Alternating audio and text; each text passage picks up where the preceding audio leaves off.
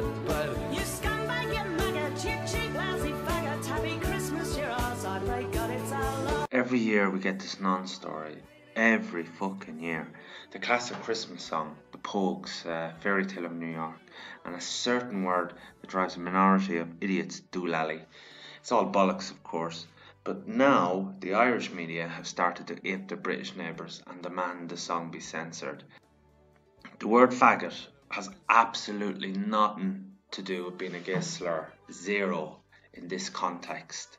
It's a well used insult to describe a naughty child, and I would have heard it many times myself growing up.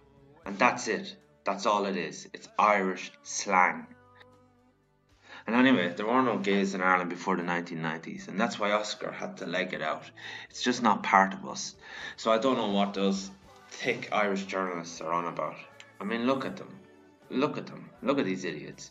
Typical privileged elite who never lived outside the confines of their leafy suburbs. The reason they probably don't know the real usage of the word is because they follow a mid Atlantic and West British lifestyle. They would know nothing about Irish culture or real Irish life. Stay at them. And McDermott wonders why people are hassling them on the street. It's because you're fucking gormless and somehow got your way onto RTE. You useless piece of shit. And this silly woman, she went as far as to check the Oxford Dictionary, but used just the first explanation she could find.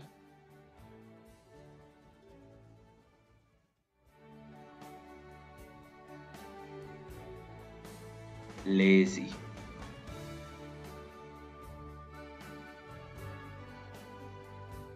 You are fake news. Sir.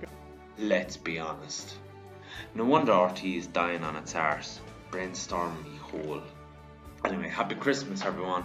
Sit back and enjoy it all. And remember, it's just a ride.